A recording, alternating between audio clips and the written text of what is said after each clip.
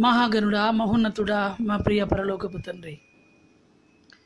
మిమ్మల్ని ఆరాధించి మిమ్మల్ని స్థుతించి మిమ్మల్ని గణపరిచే ఒక భాగ్యాన్ని కృపను నాయన.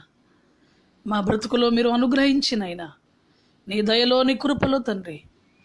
ఈ దినము మొదటి ఆదివారము సెప్టెంబర్ నెలలో నీ కృప నీ కృపలో మమ్మల్ని ప్రవేశపెట్టి నిన్ను స్థుతించే భాగ్యాన్ని నిన్ను ఆరాధించే భాగ్యాన్ని నీ నామాన్ని కొనియాడే భాగ్యాన్ని మాకు ఇచ్చినందుకు మీకు కృతజ్ఞతలు చెల్లిస్తున్నాం. నీ కార్యములు ఆశ్చర్యములు దేవా. కని విని ఎరగని రీతులలో మా బ్రతుకులలో చేయగలిగిన సమర్థులు మీరు. మీ శక్తికి మితి లేదు నాయన మీ జ్ఞానానికి మితి లేదు. నాయన మీ ప్రేమను బట్టి మీ దయను బట్టి కేవలం మీ ఉచితమైన కృపను బట్టి మేమందరము సజీవ లెక్కలో ఉండి మిమ్మల్ని స్థుతించే గొప్ప భాగ్యాన్ని ఇచ్చినందుకు నీకు స్తోత్రాలు. ఈ ఆరాధనలో ఈ లైవ్ ద్వారా నీ పిల్లలైన వారందరూ నాయన నీ సన్నిధిలో కూర్చొని నిన్ను స్థుతించడానికి నాయన మా కుటుంబాలను నీ కృపలో భద్రపరిచినందుకు మీకు నిండు కృతజ్ఞతలు చెల్లిస్తున్నాను అర్హుడవు నీవే యోగ్యుడవు నీవే స్థుతికి పాత్రుడవు నీవే తండ్రి. మీ కుమారుడైన క్రీస్తు ద్వారా అయినా మీకు కృతజ్ఞతలు మహిమ ఘనత ప్రభావములు చెల్లిస్తున్నా. మా జీవితాలను తండ్రి ఇంకను స్థిరపరచమని వేడుకుంటున్నాను సమస్తాన్ని ఇచ్చిన దేవ సమస్తాన్ని నడిపిస్తున్న దేవ.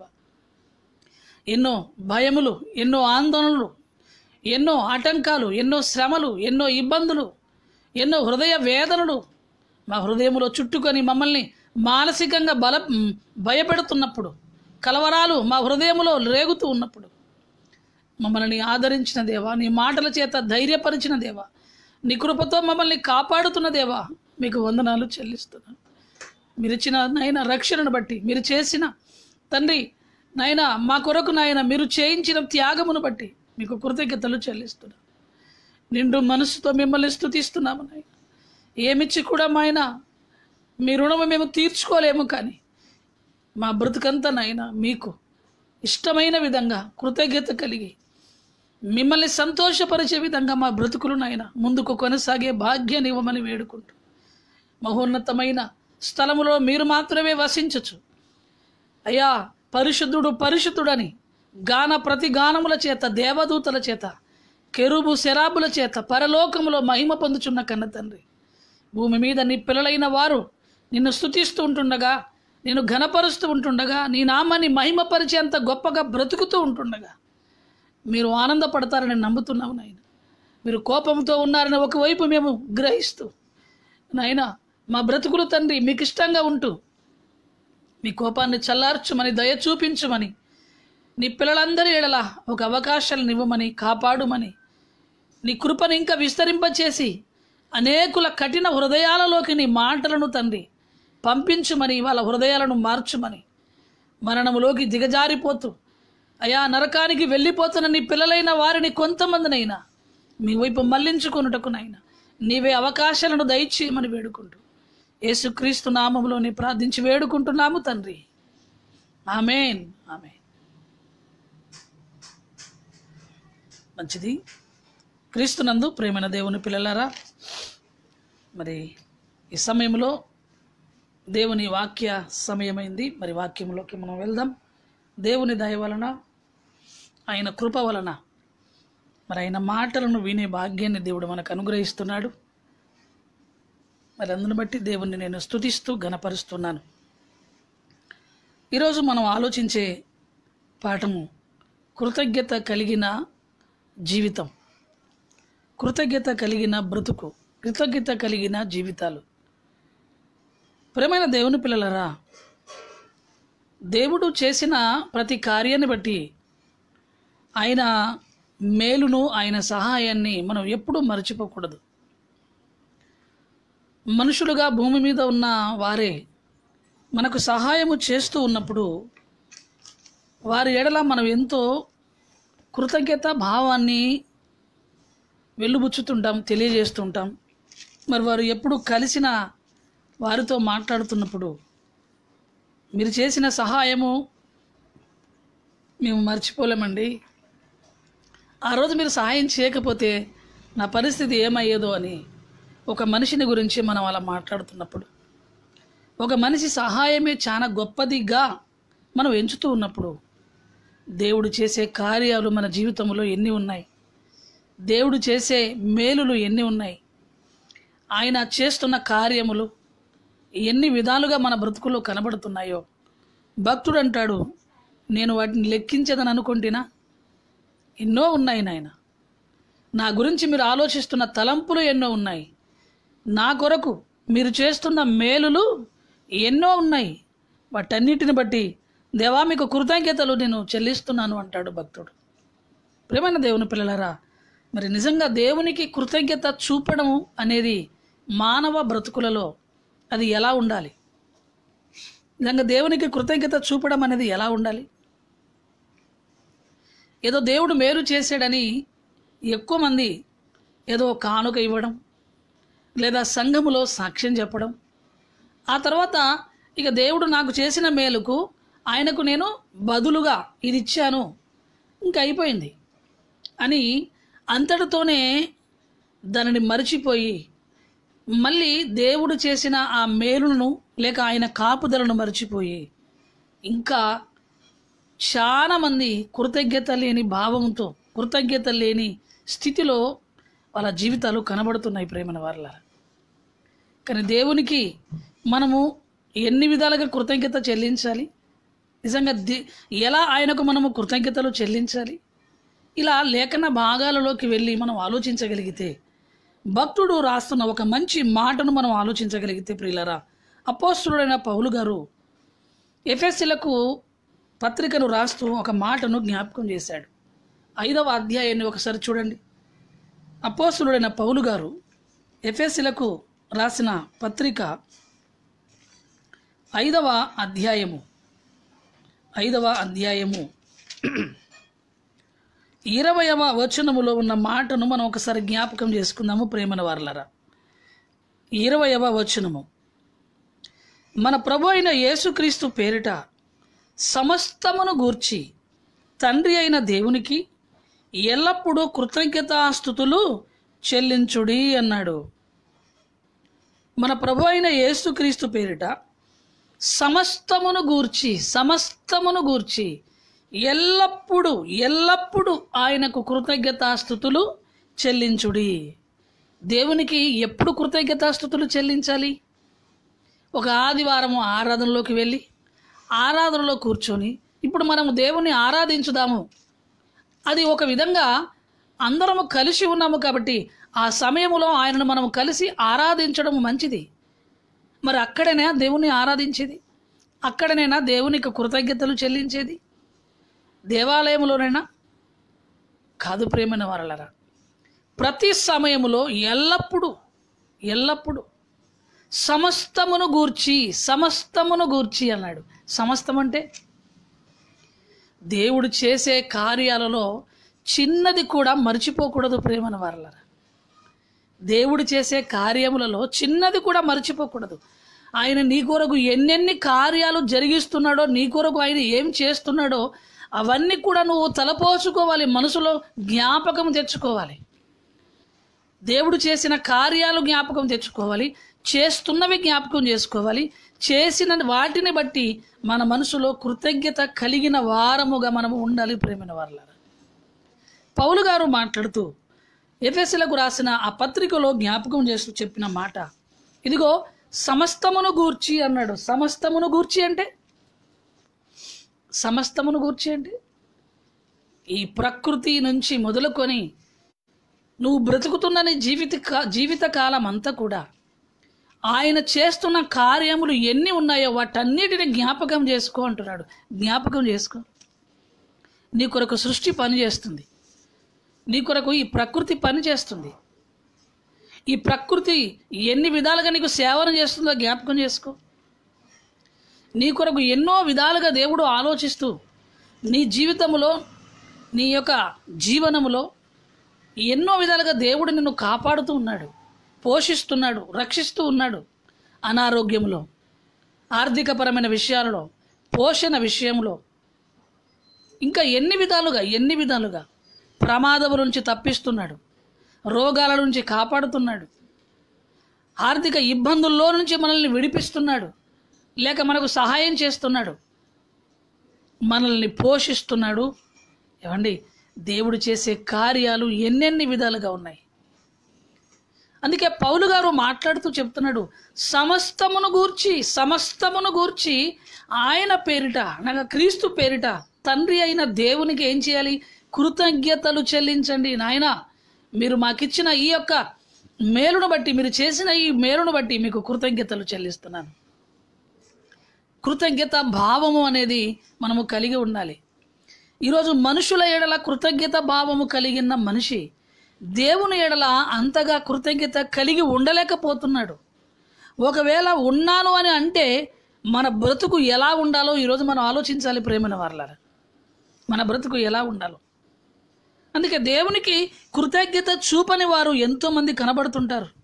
ఎంతోమంది ఇంకొక మాట మీరు చూడండి కొలసిలకు రాసిన పత్రిక నాలుగవ అధ్యాయము. పౌలు గారు కొలసిలకు రాసిన పత్రిక నాలుగవ అధ్యాయములో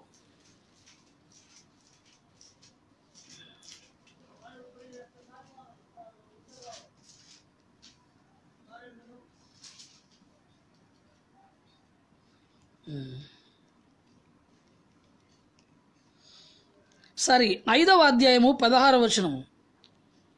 తెస్సలోనికి రాసిన మొదటి పత్రిక తెస్సలోనికలకు రాసిన మొదటి పత్రిక ఐదవ అధ్యాయము పదహారవ వచనము. ప్రతి విషయమునందు కృతజ్ఞతాస్థుతులు చెల్లించుడి. ప్రతి విషయమునందు కృతజ్ఞతాస్థుతులు చెల్లించుడి. ప్రతి విషయములో అంటే? ప్రతి విషయంలో అంటే? దేవుడు నీ కొరకు ఏం చేస్తున్నాడో వాటన్నిటి విషయాలలో నువ్వు ఒక కృతజ్ఞత భావాన్ని కలిగి ఉండాలని దేవుడు జ్ఞాపకం చేస్తున్నాడు ప్రేమైన వారుల ప్రతి విషయంలో ప్రతి విషయంలో ఆయనకు కృతజ్ఞతలు చెల్లించాలి అన్నాడు. ఏమండి మన జీవితంలో ఎన్ని కార్యాలు దేవుడు చేస్తున్నాడు ఆలోచించండి. ఎన్నెన్ని విధాలుగా కాపాడుతున్నాడు. ఈరోజు ఇప్పటికి నాలుగు ఐదు నెలలు అవుతుంది. ఏమండి భయంకరమైన వైరస్ ఏమండి భయంకరమైన వైరస్. ఎంతోమంది జీవితాల మీద అది మరణ శాసనాన్ని రాసేస్తుంది. ఎంతోమంది జీవితాలకు అటాక్ అవుతున్నాడు వారు వణికిపోతున్నారు భయపడుతున్నారు. దేవుడు నిన్ను నీ కుటుంబాన్ని క్షేమంగా కాపాడుతున్నాడు. గ్రహిస్తున్నామా? నువ్వు వెళ్ళే ప్రమాదములో దేవుడు నిన్ను క్షణములో తప్పిస్తున్నాడు. గ్రహిస్తున్నామా? నీ కుటుంబంలో ఆర్థిక ఇబ్బంది ఉందని తన పోషణ నీ కుటుంబానికి అందిస్తున్నాడు. గ్రహిస్తున్నామా? నీకు పని లేనప్పుడు ఒక పనిని కల్పిస్తున్నాడు నీకు. గ్రహిస్తున్నామా సూర్యుని పంపిస్తున్నాడు చంద్రుని పంపిస్తున్నాడు గాలిని పంపిస్తున్నాడు వర్షాన్ని పంపిస్తున్నాడు ఈ ప్రకృతి ద్వారా సేవలు అందిస్తున్నాడు భూమి పండడానికి పంటనిస్తున్నాడు భూమికి ఆజ్ఞాపించాడు. దేవుడు చేసే మేలుడు ఎన్ని ఎన్ని విధాలుగా ఉన్నవి. ప్రతి విషయములో సమస్తమును గూర్చి ప్రతి విషయములో ఆయనకు కృతజ్ఞతాస్థుతులు చెల్లి చెల్లించండి అంటున్నాడు ప్రియులారా. కృతజ్ఞత భావం అనేది చాలా అవసరం. ఏమండి? మనం చేసిన ఆయన మనకు చేసిన మేలుకు మనము ఆయనకు కృతజ్ఞత చూపించే విధం అనేది లేక మన జీవితం అనేది ఆయనకు నచ్చే విధంగా ఆయనను సంతోషపరిచే విధంగా ఉండాలి. ఆయనను గౌరవించే విధంగా ఉండాలి ప్రియులారా. కానీ దేవుడు చేసిన మేలులను మనిషి అనుభవిస్తూ దేవుడు చేసిన మేలులను మనిషి పొందుకొని మరచిపోయి కృతజ్ఞత లేని భావాన్ని మనిషి ఈరోజు కలిగి ఉన్నాడు. కృతజ్ఞత లేని స్థితి బ్రతుకు ఈరోజు కలిగి ఉన్నాడు ప్రేమల వాళ్ళారా కొంతమందిని చూస్తుంటే బాధ బాధ అనిపిస్తుంటుందండి. దేవుడు చేసిన మేలులని మర్చిపోతారు. దేవుడు చేసిన కార్యాలు మర్చిపోతారు. సంఘము చేసిన ప్రార్థనలు మర్చిపోతారు. ఒక దైవజనుడు వారి కొరకు తీసుకున్న ఆ రిస్క్ను మర్చిపోతారు. సేవకుడు ఎంత కష్టపడి వారికి దేవునిలో నిలబెట్టడానికి కష్టపడి అది మర్చిపోతారు. కృతజ్ఞత లేకుండా జీవించడం. ఎందుకంటే ఈరోజు మనకు కొంచెం తెలివి జ్ఞానం ఎక్కువైపోతుంటుంది కదా. రాను రాను దేవుని ప్రేమకు దూరం అవుతుంటాం జ్ఞానము ఉప్పంగా ఉప్పొంగ చేస్తుంది. జ్ఞానము వలన కొన్నిసార్లు మనిషి గర్వంతో ప్రవర్తిస్తారు. మన తెలివి ఎప్పుడూ ప్రమాదకరమే.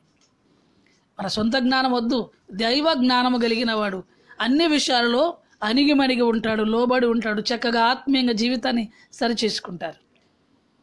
కానీ దేవుడు చేసిన మేలును మర్చిపోయి బ్రతకడం ఏంటండి? ఇది ఎంత బాధకరం? అలాంటి వారు ఉన్నారు ప్రియులారా. కీర్తనల గ్రంథములో ఒక మా సరే రోమిలకు రాసిన పత్రికలో ఒక మాట మీరు చూడగలిగితే పౌలు గారు రోమిలకు రాసిన పత్రిక ఒకటవ అధ్యాయము ఒకటవ అధ్యాయము. ఇరవై ఒకటవ వచనము చూడండి. ఇరవై ఒకటవ వచనము ఇరవై ఒకటవ వచనము. మరియు వారు దేవుణ్ణి ఎరిగి ఆయనను దేవునిగా మహిమపరచలేదు. ఆయనకు కృతజ్ఞతాస్థుతులు చెల్లింపను లేదు గాని తమ వాదముల ఎందు వ్యర్థులైరి.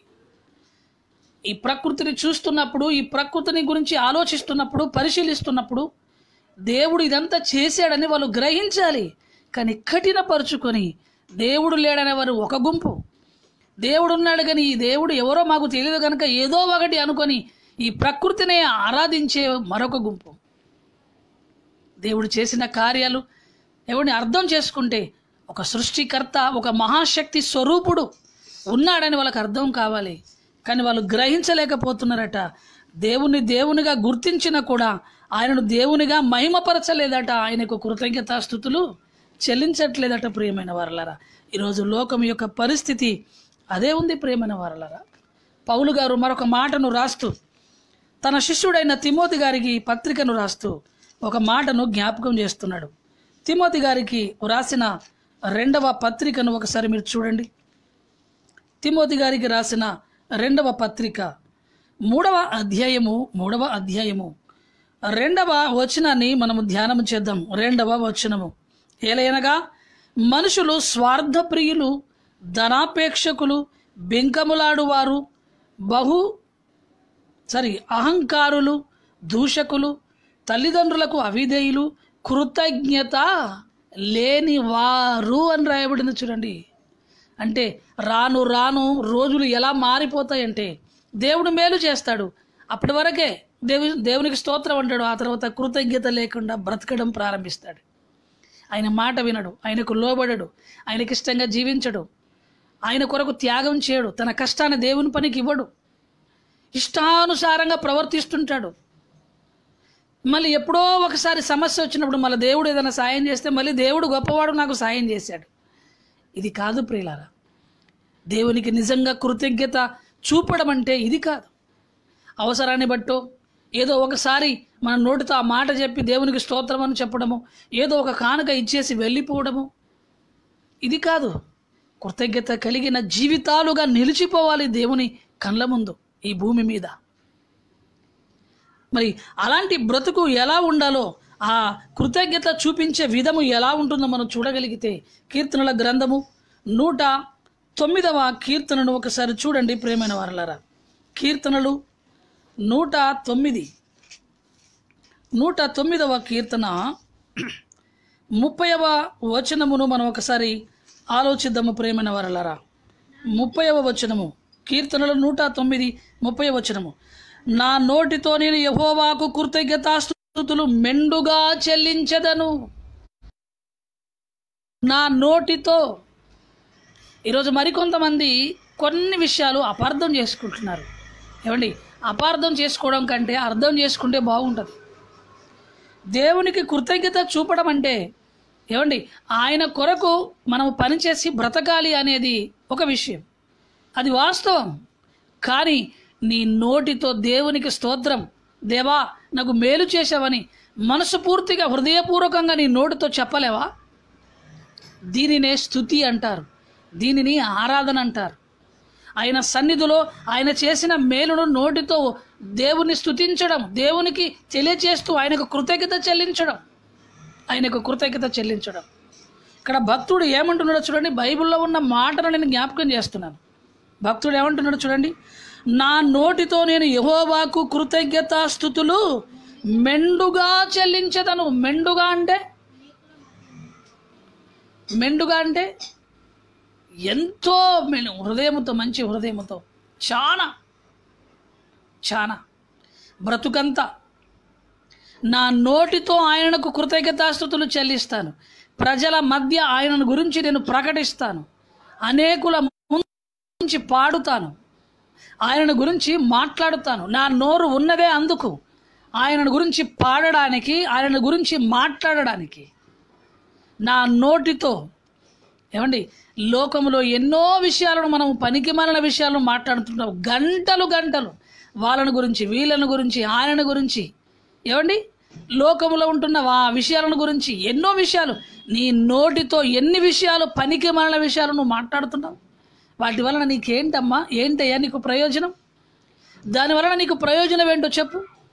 నీ దేవుని గురించి నీ నోటితో పాడు రాదు. ప్రయాణంలో వెళుతున్నప్పుడు ఆయన గురించి పాడు. ఆయన గురించి చదువు. ఆయన గురించి మాట్లాడు. కూర్చున్నప్పుడు పాడు. కూర్చున్నప్పుడు మాట్లాడు. ప్రజలలో ఏమండి? ఆయన గురించి పాడండి ప్రజల మధ్య. నా నోటితో యెహోవాకు మెండుగా కృతజ్ఞతాస్థుతులు చెల్లించదను. అనేకుల మధ్య నేను ఆయనను స్థుతించదను అనేకుల మధ్య అనేకుల మధ్య. మనం పాట పాడమంటే మన నోరు రాదు మనకు పాట రాదు. జీవితంలో ఎప్పుడు నేర్చుకుంటాము ఎప్పుడు పాడతాం చెప్పండి. ఏమండి? నీకు రాగము రావాలని దేవుడు చెప్పలే. మంచి రాగం లేదు బాబు నువ్వు పాట పాడకని దేవుడు అనట్లే. నీ నోటితో ఆయనను స్థుతించు నువ్వు ఎలా పాడతావో పాడు ఫస్ట్. కానీ హృదయం అంత హృదయం అంతటితో పాడు మంచి మంచి మనసుతో హృదయపూర్వకంగా ఆ పాటను పాడు. ఎవరో మెచ్చుకుంటారని పాడకు. నేను పాడితే అందరూ బాగుందని చెప్పాలి అనే పాడకు. నీ హృదయముతో దేవుని ఆరాధించడానికి పాడు. దేవుని ఆరాధించడానికి పాడు. వాక్యమే పాటగా ఉంది. ఆ పాట వాక్యమైన పాటను నీ నోటితో పాడు. ఆయనను స్థుతించినట్టు ప్రజల మధ్య ఆయన గురించి ప్రకటించినట్లు ఆయనను గురించి మాట్లాడినట్టు. ఇగో ఇది కృతజ్ఞత స్థుతులు చెల్లించే విధము. ఒకటి నోటితో ఆయనకు కృతజ్ఞతాస్థుతులు చెల్లించే విధం ప్రజలలో నేను ఆయనను స్థుతించాలి ఆయనను స్థుతించాలి ఆ తర్వాత మనం చూడగలిగితే కీర్తనల గ్రంథములోనే నూట ముప్పై తొమ్మిదవ కీర్తనలో ఉన్న మాటను జ్ఞాపకం చేసుకోండి ప్రియులరా. కీర్తనల గ్రంథము నూట ముప్పై తొమ్మిది. పద్నాలుగో వచనము చూడండి పద్నాలుగో వచనం. భక్తుడు చెప్తున్న మాట నీవు నన్ను కలుగ చేసిన విధము చూడగా నాకు భయమును ఆశ్చర్యమును కలుగుచున్నవి నాకు పుట్టుచున్నవి. అందును బట్టి నేను నీకు కృతజ్ఞతాస్థుతులు చెల్లించుచున్నాను. ఎప్పుడైనా ఈ మాట చెప్పామా? నాయనా నువ్వు నన్ను నిర్మించినందుకు నీకు కృతజ్ఞతలు నాయన. నాకు మంచి మెదడును నిర్మించావు. నాకు దేహాన్ని నిర్మించావు. నా కాళ్ళు నా చేతులు నా అవయవాలు ఏ లోపము లేకుండా నన్ను నిర్మించి తల్లి గర్భములో నిర్మించి నన్ను భూమి మీదకి పంపించి నన్ను కాపాడుతున్నావు. నన్ను నిర్మించినందుకు నీకు స్తోత్రము నాయన. నాకు భయము కలుగుతుంది. నిజంగా నీ నిర్మాణం ఎంత గొప్పది నాయన. ఈరోజు అవయవ నిర్మాణము ఏమండి? దాన్ని చూస్తేనే మనకు ఆశ్చర్యం కలుగుతుంది. ఏంటిది? అది పని చేసే విధము చూస్తుంటేనే ఆశ్చర్యం కలుగుతుంది. అవయవం పని చేస్తుంటేనే ఆశ్చర్యపడితే అది పని చేయడానికి తయారు చేసిన దేవుణ్ణి గురించి ఆలోచించు. నిన్ను తయారు చేసిన దేవుణ్ణి నువ్వు స్థుతించాలంటే నీ దేహము ఎలా నిర్మించబడిందో నీకు అర్థం కావాలి. శరీరం ఇచ్చామని తినుచు త్రాగుచు పాపం చేస్తూ ఈ శరీరాన్ని ఇష్టానుసారంగా వాడుకుంటున్నారండి. కృతజ్ఞత ఉందా మీకు? కృతజ్ఞత ఉందా? దేవుడు తయారు చేసిన ఆ శరీరాన్ని ఆయన కొరకు వాడాలని దేవుడిస్తే ఈ శరీరాన్ని దేవుడిచ్చాడని మరిచిపోయి దుర్వ్యసనాలకు పాపానికి లోకములో ఉంటున్న చెడ్డ వాటికి ఏమండి వాడేసి పాడు చేసుకుంటున్నారు ప్రేమని వారలారా. ఒక్కసారి నీ కళ్ళు తెరిచి ఈ శరీరమును దేవుడు ఎంత గొప్పగా నిర్మించాడో ఎంత కష్టముందో దేవుని కష్టం ఆలోచించు. పగలంతా కష్టపడితే మూడు వందల నాలుగు వందల రూపాయలు వస్తే ఆ డబ్బుల విలువేంటో నీకు అర్థమవుతున్నప్పుడు ఈ శరీరమును దేవుడు ఎంత కష్టపడి నిర్మించాడు. నీకున్న వేలిముద్ర వేరొకరికి లేదే? ఏమండి? నీకున్న వేలి ముద్ర వేరొకరికి లేదే. చూసారా దేవుని అద్భుతమైన నిర్మాణం. ఎంత అద్భుతంగా దేవుడు తయారు చేశాడు. ఎంత అద్భుతంగా తయారు చేశాడు. నీ దేహంలో ఉన్న అవయవాల నిర్మాణం నీ దేహాన్ని చూసినప్పుడు దేవునికి కృతజ్ఞతలు చెల్లించాలి ప్రేమన వర్లరా. నీవు నన్ను కలుగజేసినందుకు చేసినందుకు దేవానికి స్తోత్రం. అని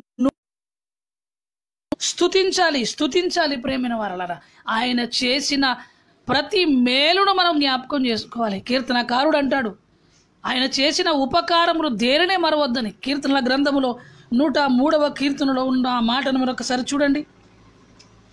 కీర్తనలు నూట మూడు. ఒకటవ వచనము నుంచి కూడా మనం చూద్దాం. నా ప్రాణమా యహోవాను సన్నతించుము. నా అంతరంగముననున్న సమస్తమా ఆయన పరిశుద్ధ నామమును సన్నుతించుము భక్తుడు దేవునికి కృతజ్ఞతలు చెల్లించడానికి తన ప్రాణముతో చెప్పుకుంటున్నాడు. నా ప్రాణమా? దేవుని దగ్గరికి వెళ్ళు. దేవుని దగ్గరికి వెళ్ళు. ఎందుకు ఆయన పాదల దగ్గరికి వెళ్ళాలి? ఎందుకు ఆయన సన్నిధికి వెళ్ళాలి? ఎందుకు వెళ్ళాలంటే చూసండి నా ప్రాణమా యహోవాను సన్నిధించుము ఆయన చేసిన ఉపకారములలో దేనిని? మరువకుము. పౌలు గారు అన్నాడు సమస్తాన్ని బట్టి ఆయనను స్తుతించండి. ప్రతి విషయములో ఆయనకు కృతజ్ఞతలు చెల్లించండి. భక్తుడు అంటున్నాడు దావిది గారు. ఎవడు ఏమంటున్నాడు ప్రేమిన వర్లరా? నా ప్రాణమా? ఎవోవాను సన్నుతించు. ఆయన వలనే కదా నువ్వు బ్రతికేది. ఆయనను సన్నుతించిన తర్వాత ఏం చేయాలి? ముందు ఆయన చేసిన మేలులన్నీ జ్ఞాపకం చేసుకో. ఆయన నీ కొరకు ఎన్నెన్ని విధాలుగా సహాయం చేస్తున్నాడు. ఆయన చేసిన ఉపకారములలో దేని మరువకు దేనిని మరువకు? ఏమండి? దేవుడు చేసిన మేలులను మర్చిపోతున్నామా ప్రియులరా. లేదా జ్ఞాపకం ఉంచుకొని ఆయనకు కృతజ్ఞతలు చెల్లిస్తూ ఆయనకు కృతజ్ఞతలు చెల్లిస్తూ ఆయనకిష్టమైన పిల్లలముగా బ్రతుకుతున్నామా? ఏమండి? ఒకటి మీరు బాగా జ్ఞాపకం పెట్టుకోండి. దేవుడు చేసిన మేలులు మరిచిపోకుండా ఉంటే నువ్వు దేవుణ్ణిలో ఉంటావు. ఆయన చేసిన మేలులు మరిచిపోతే నువ్వు దేవునికి దూరం అవుతావు ఇంత ఇంకేం లేదు ప్రియులరా. బాగా జ్ఞాపకం ఉంచుకోండి. ఆయన చేసిన మేలులు నువ్వు జ్ఞాపకం ఉంచుకుంటే ఆయనకు కృతజ్ఞత కలిగి బ్రతుకుతావు. ఆయన చేసిన మేలులు మరిచిపోయావా? దేవునికి దూరం అయిపోతుంటాం ప్రియులరా. స్వార్థం ఏర్పడుతుంటుంది. స్వార్థం. ఏదో దేవుడు చేశాడులే. నేను కష్టపడితే దేవుడు చేశాడా? అబ్బా ఎంత బాగా చెప్పావు మాట. ఏమండి? మన దగ్గర అధిక తెలివి ఎక్కువ ఉంటుంది స్వార్థపు బుద్ధి ఎక్కువ ఉంటుంది ఓవర్ కాన్ఫిడెన్స్ ఎక్కువ ఉంటుంది. ఇవన్నీ పక్కన పెట్టి ఆయన కాళ్ళ దగ్గరికి వెళ్ళి నువ్వు లేకపోతే నేను లేను నాయన. సమస్తము నువ్వే చేశావు నా ద్వారా నువ్వు చేశావు. నువ్వు జరిగించినవే నువ్వు జరిగించినవే. నాదేముంది తండ్రి? యుద్ధాలు చేసిన దావీదు ఏ రోజు గర్వించలేదు. ఏమండి? యుద్ధాలు చేసిన దావీదు. సింహము ఎలుగు బంటినే ఏమండి? తరిమినవాడు ధైర్యంగా ఉన్నవాడు. ఎన్నో ప్రాంతాలను జయించినవాడు శత్రువులను ఓడించి తిరిగి వచ్చినవాడు ప్రతి విషయంలో దేవుని సహాయం అడిగి ముందుకెళ్ళి ప్రతి విషయంలో మళ్ళీ తిరిగి వచ్చిన తర్వాత దేవుడు చేసిన మేలును జ్ఞాపకం చేసుకుంటూ నాయన నీ బలముతో నేను గెలిచానని మనసు పూర్తిగా దేవునికి కృతజ్ఞతలు చెల్లించాడు. అందుకే దావీదుని గురించి బైబిల్లో దేవుడు చెప్పిన మాట దావీదు నా హృదయానుసారుడు. నా హృదయానుసారుడు. నా మనసు తెలుసుకున్నవాడు నా హృదయంలో ఉన్న ఆలోచనలు గ్రహిస్తున్నవాడు నిండు మనసుతో నాకు కృతజ్ఞతను చూపించేవాడు. నేనంటే ప్రాణముగా పెట్టుకునేవాడు. ఈరోజు అలాంటి స్థితి దేవుని పిల్లైన మనలో మన బ్రతుకుల్లో కనబడుతుందో? ఆలోచించండి దేవుని సన్నిధికి రావాలంటే ఒక టైం ఉంటుంది. ఆ టైం ప్రకారంగా ఉండాలి ప్రేమన వరలని మనం. ఒక టైం ఉంటుంది. ఆ టైంకు రావాలి. ఆయన సన్నిధిలో ఉండాలి. ఆయన చేసిన ఉపకారములలో దేనిని మరువకుము మరువకుము? ఎందుకు ప్రేమైన వరలరా? ఎందుకు? ఇంకా చూస్తే ఇంకా చూస్తే మూడవచనములో ఆయనని దోషములన్నింటినీ క్షమించేవాడు నీ సంకటములన్నిటినీ కుదుర్చువాడు సమాధిలో నుండి నీ ప్రాణమును విమోచించుచున్నాడు కరుణా కటాక్షములను కిరీటముగా నీకు ఉంచుచున్నాడు. పక్షి రాజు వలె ఈ పక్షిరాజు యవనము వలె నీ యవనము క్రొత్తదగుచుండునట్లు మేలుతో నీ హృదయమును తృప్తిపరచుచున్నాడు. ఎన్ని మేలు చేస్తున్నాడు ప్రియులారు ఆయన? ఆయన ఎన్ని మేలు చేస్తున్నాడు? ఆలోచించండి. ఎన్ని మేలు చేస్తున్నాడు? ఆయన చేస్తున్న మేలులని జ్ఞాపకం చేసుకో. నేను ఆరోగ్యవంతునిగా బలవంతునిగా. ఏమండి? బలవంతుడిగా నేను కాపాడుతున్నాను. పక్షిరాజు యవనం వలె నీ వయసులో నువ్వు బలంగా ఉండాలని వయసు పెరిగిన కొద్దీ ఏమంటే వృద్ధాప్యం రాకుండా ఉండడానికి నీకు బలమునిస్తున్నాడట దేవుడు. నీ పాపములను క్షమిస్తున్నాడు నీ సంకటములను వాపుతున్నాడు. ఆయన చేసిన మేలులన్నీ జ్ఞాపకం చేసుకో నా ప్రాణమా అంటున్నాడు భక్తుడు ఇక్కడ. నా ప్రాణమా? ఆయన చేసిన మేలులన్నీ జ్ఞాపకం చేసుకో. ఇంకొక మాట చూడ చూడగలిగితే అపోస్తుల కార్యములో ఒక మాటను మనం చూద్దాం. అపోస్తుల కార్యములు పదమూడవ అధ్యాయము. అపోస్తుల కార్యములు పదమూడవ అధ్యాయము. ఇరవై రెండవ వచనము చూడండి ప్రియులరా. అపోస్తుల కార్యము పదమూడవ అధ్యాయము. ఇరవై రెండవ వచనము చూద్దాం. ఇరవై రెండవ వచనము. తర్వాత అతనిని తొలగించి దావీదును అతనికి రాజు సారీ వారికి రాజుగా ఏర్పరచెను. మరియు ఆయన నేను యశయి కుమారుడైన దావీదును కనుగొంటిని అతడు నా ఇష్టానుసారుడైన మనుష్యుడు. నా ఉద్దేశములన్నీ నెరవేర్చునని చెప్పి అతన్ని గూర్చి సాక్ష్యం ఇచ్చాను దేవునికి ఆనందము కలిగించేవాడు. దేవుని హృదయాన్ని సంతోషపరిచేవాడు ప్రియులారా. మరి దావీదు గారు ఎంత గొప్పగా దేవుని కొరకు బ్రతికాడు ప్రియులారా? నిజంగా ఆయనకు కృతజ్ఞతను చూపించే విధములో ఒకటి నోటితో ఆయనను స్తుతించాలి. ఆ తర్వాత ఆయన చేసిన మేలులను జ్ఞాపకము చేసుకొని ఆయనకు కృతజ్ఞతలు చెల్లించాలి. ఆ కృతజ్ఞత భావముతో ఆయనకిష్టంగా బ్రతకాలి. ఎప్పటి వరకు? ఒక నెల రోజులు బాగా బ్రతికితే సరిపోతుందా? కాదు.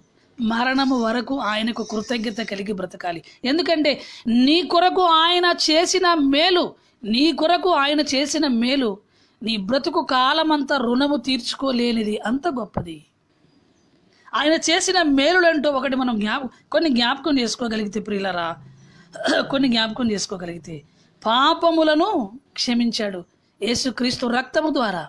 యేసుక్రీస్తు మరణము ద్వారా నీ పాపములకు క్షమాపణ కలిగింది. Number one. నెంబర్ టూ ఇబ్బందులో నుంచి నిన్ను విడిపిస్తున్నాడు. అవును కదా? ప్రతిదినం ఎన్నో కష్టాలు బాధలు ఉన్నాయి వాటన్నిటిలోనే నిన్ను విడిపిస్తున్నాడు. ఆ తర్వాత నీ ఎడల కృప చూపెడుతున్నాడు. నీకు కష్టం వస్తుంది బాధ వస్తుంది సమస్యలు వస్తున్నాయి. కృంగిపోతున్నావు బలహీనుడవు అవుతున్నావు. నువ్వు గెలవలేకపోతున్నావు. అయ్యో నా కుమారుడు ఇలా ఉన్నాడని నీ ఎడల కృప చూపిస్తున్నాడు ఆయన. మేలుతో నిన్ను నింపుతున్నాడు. మేలుతో ఎన్నో మేలులు దేవుడు చేసి నీ హృదయమును నింపుతున్నాడు సంతోషాన్ని. ప్రేమతో ఏం చేస్తున్నాడు ప్రియారా? కాపాడుతున్నాడు. ఆయన నిన్ను కాపాడములో ఆయన ప్రేమ ఉంది ఆయన కృప ఉంది. ఏమండి? ఆలోచించండి ప్రియులరా. నెంబర్ వన్ నీ పాపములను క్షమించి నీకు రక్షణ ఇచ్చాడు. ఇబ్బందులో నుంచి నిన్ను విడిపించి కాపాడుతున్నాడు. నీ ఎడల కృప చూపెడుతున్నాడు. మేలుతో నింపుతున్నాడు. ప్రేమతో నిన్ను రక్షిస్తున్నాడు పోషిస్తున్నాడు నీకు పోషణ ఇస్తున్నాడు. ఇదిగో ఆయన చేసిన మేలులను జ్ఞాపకం చేసుకొని ఆయనకు కృతజ్ఞతలు చెల్లించాలి. ఆయనను నోటితో స్థుతించాలి ఆయన మేలులను తలపోయుచు. ఏమండి? ఆయన చేసిన మేలులను బట్టి ఆయనకు సమాజములో ప్రజల మధ్య ఆయనను స్థుతించాలి ఆ తర్వాత ఆయనకు కృతజ్ఞత కలిగిన వారముగా మనము బ్రతకాలి. పౌలు గారు ఎలా బ్రతికారో తెలుసా? గలతి పత్రికలో ఉంటుంది ఆ మాట చూడండి. గలతీలకు రాసిన పత్రికలో పౌలు గారు దేవుడు చేసిన మేలుకు ఎలాంటి కృతజ్ఞత కలిగి ఆయన బ్రతికాడో మీరు చూడగలిగితే గలతీలకు రాసిన పత్రిక రెండవ అధ్యాయము ఇరవయవ వచనములో ఉన్న మాటను చూడండి. ఇరవయవ వచనము. నేను క్రీస్తుతో కూడా సిలువ వేయబడి ఉన్నాను. నా దేవుడు చేసిన మేలుకు ఆయన నాకు చేసిన మేలుకు నేను ఇక జీవించే నా బ్రతుకంతా ఎలా ఉండాలంటే నేను క్రీస్తుతో కూడా సిలువ వేయబడి ఉన్నాను. ఇక జీవించేవాడను నేను కాదు సౌలును కాదు. ఒకప్పటి పాత సౌలును కాదు. నా పాత క్యారెక్టర్ అంతా పోయింది ఇక. ఇక జీవించేవాడను నేను కాదు క్రీస్తే నాయందు జీవించుచున్నాడు. అంటే యేసుక్రీస్తు నాలో ఉన్నాడంటే క్రీస్తు యొక్క ఆ లక్షణాలను క్రీస్తు తత్వమును ధరించుకోవాలనే ఒక బలమైన పట్టుదలతో నిర్ణయం తీసుకొని బ్రతుకుతున్నాడు. క్రీస్తు తత్వమును క్రీస్తు లక్షణములను క్రీస్తు స్వరూపమును ధరించుకొని బ్రతకాలని నిర్ణయించుకొని బ్రతుకుతున్నాడు. ఇక బ్రతికితే క్రీస్తు కొరకే. క్రీస్తు కొరకే బ్రతుకుతారు. భూమి మీద నేను బ్రతికే కాలమంతా క్రీస్తు కొరకే బ్రతుకుతానంటూ ఏమన్నాడంటే నేనిప్పుడు శరీరమందు జీవించుచున్న జీవితము నన్ను ప్రేమించి నా కొరకు తన్ను తాను అప్పగించుకునిన దేవుని కుమారుని ఎందలి విశ్వాస మూలముగా జీవించుచున్నాను. ఏమండి? దేవుని కొరకు కృతజ్ఞత చూపించే విధము ప్రేమైన విరల వారలారా? దేవునికి కృతజ్ఞత చూపించే విధము. నన్ను ప్రేమించి నా కొరకు తన్ను తాను అప్పగించుకున్న క్రీస్తు కొరకు నేను మరణము వరకు నమ్మకంగా బ్రతుకుతాను. ఇది కృతజ్ఞత. బాప్తిష్టం తీసుకున్న తర్వాత ఒక మూడు నెలలు నాలుగు నెలలు ఆరు నెలలు ఒక సంవత్సరం వరకు బాగుంటావు. ఆ తర్వాత మళ్ళీ పాత బ్రతుకు బూతు మాటలు చెడ్డ మాటలు కోపములు ఆవేశములు ఎన్నో తప్పుడు నిర్ణయాలు ఎన్నో తప్పుడు ఆలోచనలు. దేవుని భయం ఉండదు. దేవునికి ఏమండి? సంతోషం కలిగించే జీవితం ఉండదు. ఏంటి మన కృతజ్ఞత? ఇది కాదు ప్రేమన వరలరా. ఆ కృతజ్ఞత కాదండి అది. కృతజ్ఞత లేని బ్రతుకది. దేవునికి కృతజ్ఞత చూపెడుతున్నావంటే నీ కొరకు నువ్వు విలువ కట్ట నువ్వు ఒక ఏమండి ఆయన చేసిన త్యాగానికి నువ్వు వెలకట్టలేని గొప్ప త్యాగం ప్రభు చేశాడు. నీ కొరకు జరిగిన చేసిన మేలు చాలా గొప్పది. ఆయన చేసిన మేలుకు నువ్వేం చెల్లించలేవయ్యా. నీ బ్రతుకు కాలమంతా నువ్వు ఆయన కోసం బ్రతికితే చాలు. ఇవ్వండి నోటితో స్థుతిస్తున్నాము కానీ హృదయముతో ఆరాధించలేట్లేదు చాలామంది. హృదయముతో ఆరాధన అంటే ఏంటో తెలుసా? ఆయన చేసిన మేలును జ్ఞాపకం చేసుకున్నప్పుడు హృదయములో ఒక ఆనందం. దేవుడు చేసిన ఆ మేలును బట్టి హృదయములో ఒక పశ్చాత్తాపం. ఒక సంతోషకరమైన స్థితి. దేవునికి వినయము విధేయత కలిగిన బ్రతుకు ఉండాలనే ఒక వినయ భావము కన్నీరు రాలిపోతుంటుంది ప్రియుల దేవుని ఆరాధిస్తున్నప్పుడు ఆయన చేసిన మేలులను జ్ఞాపకం చేసుకొని మనస్ఫూర్తిగా ఆయనను ఆరాధిస్తున్నప్పుడు నిండు మనసుతో కృతజ్ఞతలు చెల్లిస్తున్నప్పుడు ఏమండి ఇంతకంటే గొప్పగా నన్ను ఎవరు ప్రేమించగలరనే ఒక ఆనందము మనలో ఆనంద భాష్పములు రాలిపోతుంటాయి. హృదయముతో ఆరాధించాలి నాయన హృదయముతో. అనగా నీ మనస్సంతటితో దేవుని ఆరాధించాలి. ఏదో అందరూ దేవుని స్థుతిస్తున్నారు కనుక నేను స్థుతిస్తాను అందరూ చప్పట్లు కొడుతున్నారు కనుక నేను కూడా చప్పట్లు కొడతాను అందరు చేతులతో నేనెత్తుతున్నాను.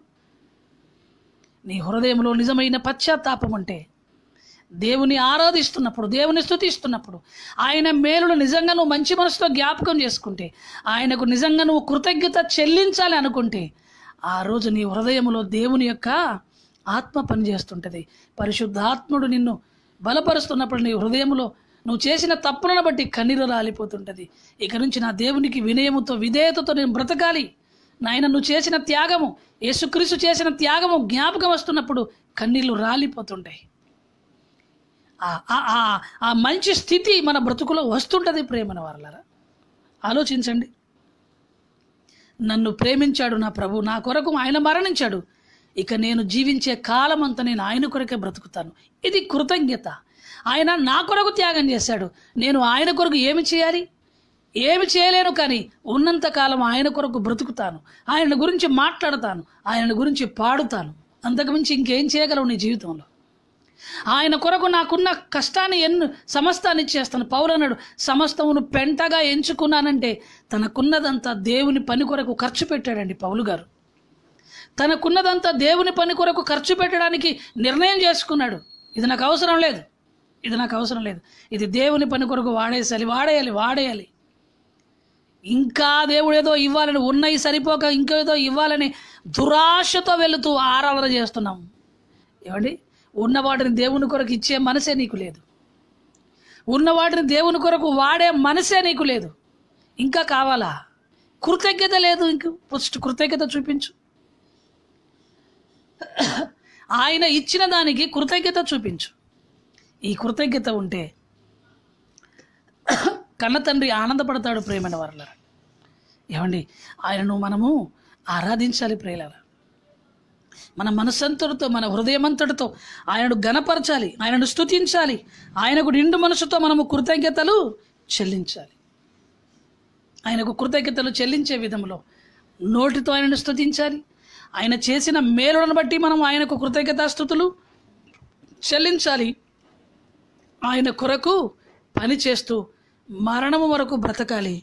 ఆ తర్వాత మూడవది మన కష్టాన్ని మనకున్న కష్టాన్ని దేవుని కొరకు పని కొరకు కొంత వాడాలి ప్రియులర. దేవుని పని కొరకు వాడాలి. ఇది కృతజ్ఞత. ఇచ్చినవన్నీ నువ్వే తింటూ ఇచ్చినవన్నీ నువ్వే వాడుకుంటూ ఆయన పనిని పక్కన పెడితే ఆయన పనేమో ఆగిపోయింది నీ పనేమో జరుగుతుంది. ఆయన పనేమో ఆగిపోయింది నీ పనేమో జరుగుతుంది. ఇదేనా కృతజ్ఞత? ఆయనకి ఇస్తారని మాట ఇచ్చి కూడా నువ్వు తప్పించుకుంటావంటే? ఆయనకి ఇస్తారని మాట ఇచ్చి కూడా పట్టించుకోకుండా ఉంటున్నామంటే ఇదేంటండి ఇప్పటికీ ఆయన నీకు మేలు చేస్తూనే ఉన్నాడు కదా. నీకు మేలు చేస్తూనే ఉన్నాడు కదా. నువ్వు ఇవ్వలేదని ఆయన కోపగించుకొని నీకు నష్టం చేయలేదే? ఆయన ఇంకా నిన్ను కాపాడుతూనే ఉన్నాడు. నీకు మేలు చేస్తూనే ఉన్నాడు. నీకు కృప చూపెడుతూనే ఉన్నాడు. దేవుని ప్రేమకు ఏమి చెల్లించగలము ప్రియులారా? కాబట్టి నీ కష్టములో దేవుని కొరకు కొంత వాడాలి ప్రియులారా? దేవుని పని కొరకు వాడాలి. ఇది ఎప్పుడు మర్చిపోకూడదు. అది కృతజ్ఞత భావం. దయ్యంగాడు ఎక్కడ మనల్ని జీవితాన్ని నష్టపరుస్తుందంటే డబ్బు కాడికి వచ్చేసరికి మనలో ఒక పిషినారి గుణాన్ని పెట్టేస్తుంది. పిషినారి గుణం. దేవునికి ఇవ్వాలనేసరికనే ఏమండి? మనసంతా ఎట్లో ఉంటుంది. అదే బయటనికి అప్పు ఉంటే ఇవ్వాలి ఇవ్వలేవా? పిల్లి వసూలు చేస్తారు కదా. మరి దేవుడు పిల్లి వసూలు చేస్తే? పిల్లి వసూలు చేస్తే? ఏమండి? మనము ఎన్ని నెలలు దేవుని కష్టాన్ని మనం ఇవ్వకుండా ఏమండి? దాచుకుంటున్నాం చెప్పండి వాడుకుంటున్నాం చెప్పండి. ఎన్ని నెలలు దేవుని పని ఆగిపోతుంది? దేవుని కార్యక్రమాలు ఆగిపోతున్నాయి దేవుని పరిచర్య ఆగిపోతుంది. దేవుని కొరకు నీ కష్టాన్ని ఇవ్వకపోతే నీకు కృతజ్ఞత లేదని జ్ఞాపకం చేసుకోండి. నీకు కృతజ్ఞత లేదు. దేవుడిచ్చిన ఆ కష్టాన్ని చేతిలో పెట్టుకొని నాయనా నువ్వు ఇచ్చిన ఈ కష్టములో నుంచి నీ పని కొరకు కొంత ఇస్తాను నాయనని కృతజ్ఞత కలిగి నువ్వు ఇవ్వగలిగితే నిజమైన కృతజ్ఞత. ఆయన కొరకు నువ్వు బ్రతుకుతూ ఉంటే ఆనందపడతాడు. ఆయన పరిచర్య కొరకు నువ్వు ఇస్తున్నప్పుడు ఆనందపడతాడు. ఆయన నోట్ నీ నోటితో ఆయన గురించి మాట్లాడుతున్నప్పుడు ఆయనను గురించి పాడుతున్నప్పుడు ఆనందపడతాడు. కన్న తండ్రిని ఆనందపరిచిన ఒక దావిదును చూడండి ప్రేలాల ఒక పౌరు గారిని చూడండి ప్రేలాల భక్తులను చూడండి ప్రేమన వర్లారా. వాళ్ళలాగా మన జీవితాలు ఉంటున్నాయా? మనం కృతజ్ఞత కలిగి బ్రతకగలుగుతున్నామా? ఆలోచించండి. ఒక మంచి నిర్ణయం తీసుకోవాలి ప్రేమన వర్లారా. ఒక మంచి నిర్ణయం తీసుకోవాలి. ఆరవ అధ్యాయంలో ఇదే గలతీ రా గలతీలకు రాసిన పత్రికలో ఆరవ అధ్యాయంలో ఆరవ అధ్యాయంలో పద్నాలుగవ వచనములో ఉన్న మాటను ఒకసారి మీరు చూడగలిగితే అయితే మన ప్రభు అయిన యేసుక్రీస్తు శిలువ ఎందు తప్ప మరి దేని ఎందును అతిశయించుట నా నాకు దూరమవును గాక? దాని వలన నాకు లో లోకమును లోకమునకు నేనును శిలువ వేయబడి ఉన్నాము. చూసారా? ఇక నేను లోకంలోకి వెళ్ళను. లోకాన్ని జ్ఞాపకం చేసుకోను. లోకాన్ని మర్చిపోయాను నేను. అది నాకు దూరం అవును గాక. నా తండ్రికి దూరం చేసేది ఏది నాకు వద్దు. తీసుకునే నిర్ణయాలు బాగుండాలి ప్రేమన వరలారా. మనం దేవుని దగ్గర తీసుకునే నిర్ణయాలు బాగుండాలి. నిర్ణయాలు బాగుంటే కృతజ్ఞత కలిగి జీవిస్తాం. నిర్ణయాలు బాగులేవా? ఏమండి? నిర్ణయాలు బాగులేకపోతే ఇలా చెప్తాం అలా మర్చిపోతాం. ఇలా మాట ఇస్తాం అలా మర్చిపోతాం. దేవునికి మాట ఇచ్చాం ప్రిల్లరా ఎన్ని రోజులు అవుతుంది? దేవుని పని కొరకు మన కష్టాన్ని ఇవ్వకుండా దాచుకొని మనం వాడుకుంటున్నాం ఎన్ని రోజులు అవుతుంది? వద్దు ప్రేమన వరల ఆయనకు కృతజ్ఞత చూపించే భావం మన హృదయంలో ఉండాలి. కాబట్టి ముందు నీ నోటితో ఆయనను స్తుతించాలి. నీ నోటితో ప్రజల గురించి ప్రజల మధ్య ఆయనను గురించి పాడాలి. ప్రజల మధ్య ఆయనను గురించి మాట్లాడాలి. ఆయన కొరకు మరణం వరకు బ్రతకాలి. నీ కష్టాన్ని దేవుని కొరకు కొంత ఆయన పని కొరకు కొంత ఇవ్వాలి. ఇది నిజమైన కృతజ్ఞత. ఒక మనిషి జీవితంలో దేవునికి చూపే నిజమైన కృతజ్ఞత ప్రేమైన వారలారా. ఇలాంటి కృతజ్ఞత కలిగిన వారముగా మనం ఉండాలని నేను మనస్ఫూర్తిగా కోరుకుంటున్నాను. ఒకవేళ ఇప్పటివరకు దేవునికి కృతజ్ఞత చూపించే విధములో ఈ విషయంలో నువ్వు మర్చిపోయావేమో. దేవునికి నిజంగా కృతజ్ఞత కలిగి బ్రతకట్లేదేమో. ఆలోచించు. నీ కుటుంబం దేవునికి కృతజ్ఞత కలిగి జీవించలేకపోతుందేమో. ఆలోచించండి. ఈ రోజైనా కళ్ళు తెరుచుకుందాం. ఈ రోజైనా మన తప్పును సరిదిద్దుకుందాం. ఈ రోజైనా దేవుని దుఃఖపరిచే స్థితిలో నుంచి బయటికి వచ్చి ఆయనను సంతోషపరిచే విధంగా నీవు నీ కుటుంబము జీవించాలని నేను మనస్ఫూర్తిగా కోరుకుంటున్నాను. మీ కొరకు ప్రార్థన చేస్తాను ప్రియులారా. ఒక మంచి నిర్ణయం తీసుకోండి. దేవుని కొరకు ఆయనను సంతోషపరిచి ఆయనకి ఇష్టమైన వారంగా మనం మరణం వరకు జీవించి కృతజ్ఞత కలిగి బ్రతికి ఆ మహాలోకానికి వెళ్ళాలని మీ అందరినీ ప్రేమతో కోరుకుంటున్నాను. ప్రార్థన చేసుకుందాం. ఒక మంచి నిర్ణయం తీసుకోండి. కలుముసుకోండి మహాగనుడా మహాగణుడా మహోన్నతుడా మా ప్రియ పరలోకపు తండ్రి మీకు కృతజ్ఞతలు చెల్లిస్తున్నాం నేను నీ ఎడల కృతజ్ఞత భావాన్ని చూపించే విధము ఎలాంటిదో తండ్రి ఈరోజు మీ లేఖన భాగాలలో నుండి నైనా మేము ఆలోచించాము నిజమే తండ్రి చాలాసార్లు మీ మాటను మేము వినలేకపోతున్నాం నీకు కృతజ్ఞత చూపించలేకపోతున్నాం. మీకు కృతజ్ఞత కలిగి బ్రతకలేకపోతున్నాం నాయన మిరిచిన నోటితో ఎన్నో పనికి మారిన విషయాలు మాట్లాడుతున్నాము తండ్రి. ఎన్నో అనవసరమైన మాటలు మాట్లాడుకుంటున్నాము. ఈ పవిత్రమైన మాటలు ఈ పవిత్రమైన పాటలు పాడాలని మీరు మాకిచ్చిన నోటిని వాడకుండా పనికి మాలిన వాటి కొరకు వాడుతున్నాం మమ్మల్ని క్షమించు మా గొంతును తండ్రి పనికి మాలిన వాటి కొరకు వాడుతున్నాం మమ్మల్ని క్షమించు. చెడ్డ వాటిని గురించి మనుషుల గురించి ఎన్నో తప్పుడు మాటలు మాట్లాడుతున్నాం మమ్మల్ని క్షమించు. నైనా నా గానము నా ప్రాణము నా దేహము నీ కోసమే అని భక్తుడు చెప్తున్నట్టుగా నాయన. మేము నీ కొరకే జీవించే భాగ్యాన్ని ఇవ్వండి. పౌలు గారు తీసుకున్న నిర్ణయం ఒక దావీదు గారు చూపిన కృతజ్ఞత మా జీవితాలలో నాయన. భక్తులు మాకంటే ముందు బ్రతికిన భక్తుల జీవితాల్లో వారు తీసుకున్న నిర్ణయాలు వాళ్ళ త్యాగాలు మా ముందు కళ్ళ ముందు కనబడడానికి అరవై ఆరు పుస్తకాలలో మీరు రాయించిన ప్రతి విషయం నాయన. మీ ఎడల మేము ఎలా కృతజ్ఞత కలిగి జీవించాలో మాకు నేర్పిస్తున్నాయి. కానీ మేము తండ్రి గ్రహించలేకపోతున్నాం. విని కూడా నాయన పట్టించుకోకుండా పెడచెవిన పెడుతున్నాం. ఇష్టానుసారంగా ప్రవర్తిస్తున్నాం. కఠినపరుచుకుంటున్నాం. నాయన చిన్న చిన్న వాటికి నాయన చిన్న చిన్న వాటికే టెంప్ట్ అయిపోతున్నాం. అలుగుతున్నాం. మమ్మల్ని క్షమించున్నాయి మేము మనుషుల కొరకు కాదు నాయన బ్రతికేది. నీ కొరకు బ్రతకాలి. అయ్యా మేము మమ్మల్ని మనుషులను సంతోషపెట్టే వారముగా కాక మిమ్మల్ని సంతోషపెట్టే విధంగా మా జీవితాలు ఉండునట్టుగా సహాయం చేయండి. ఈ రోజునైనా నీ పిల్లలు ఎవరైతే వారి తప్పులను సరిదిద్దుకుంటున్నారు. మీ సన్నిధిలో పశ్చాత్తాపడుతున్నారు. ఇప్పటి వరకు నీకు కృతజ్ఞత లేకుండా జీవించి తప్పు చేశారు. ఈ రోజు సరి చేసుకోవడానికి ఇష్టపడుతున్నారు. వారి నందరిని వారి కుటుంబాలను దీవించడం ప్రతి కుటుంబం ఎడల కృతజ్ఞత కలిగి బ్రతుకున్నట్లుగా మీ సహాయాన్ని దయచేయమని మనసు మీకు నిండు కృతజ్ఞతలు చెల్లిస్తూ మహిమ ఘనత ప్రభావాలు మీరు పొందమని ఎంతమంది నిర్ణయాలు తీసుకున్నారు నాయన. వారు తీసుకున్న నిర్ణయాల్లో నుండి మళ్ళీ పడిపోకుండా నిజంగా నీ కొరకు బ్రతుకున్నట్లుగా మిమ్మల్ని సంతోషపరిచే విధంగా వారి కుటుంబాలు ఉండనట్లుగా సహాయము చేయమని వేడుకుంటూ. అయ్యా మీరు ఇచ్చిన ఈ పరిచయను బట్టి మిమ్మల్ని స్థుతిస్తూ. మా దేశమును మా రాష్ట్రమును కాపాడండి. మా రాష్ట్ర ప్రజలను దీవించండి. ఈ యొక్క కోవిడ్ నైన్టీన్ వైరస్ నుంచి నీ బిడ్డలందరినీ కాపాడండి. దానికి కావలసిన త్వరగా అతన్ని వ్యాక్సిన్ మెడిసిన్ మీరు అందించమని వేడుకుంటున్నాం. అయ్యా దేశ నాయకులకు మంచి జ్ఞానమును మంచి ఆలోచనలు ఇవ్వండి. ప్రజల కొరకు మేలుకరమైన ప్రణాళికలను సిద్ధపరిచి మంచి పరిపాలన జరిగించుటకు సహాయము చేయమని వేడుకుంటున్నాను.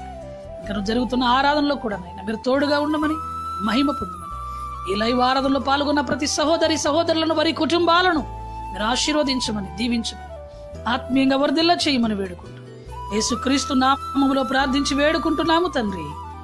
ఆమెన్. ఆమెన్. తండ్రి అయిన దేవుని ప్రేమ కుమారుడైన యేసుక్రీస్తు కృప పరిశుద్ధాత్మ దేవుని యొక్క అన్యోన్య సహవాసము నిత్య జీవము. ఇప్పుడు ఎల్లప్పుడూ సదాకాలము మన ప్రభుత్వ పర్యంతర వరకు మనందరికీ మన కుటుంబాలకు తోడై ఉండి కాపాడునుగాక. Amen amen. మంచిదండి? అందరికీ వందనాలు. God bless you.